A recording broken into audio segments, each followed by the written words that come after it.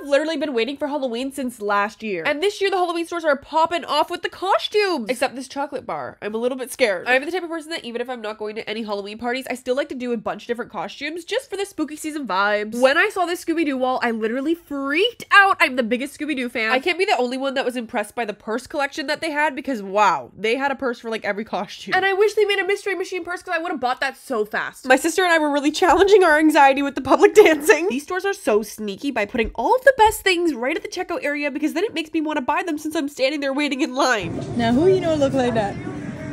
I got mime gloves because I felt like it would be cool to do a mime makeup look. And then I also got a Daphne costume because, you know, my hair's orange. Skyla got a clown costume and I'm so excited to show you guys our final looks.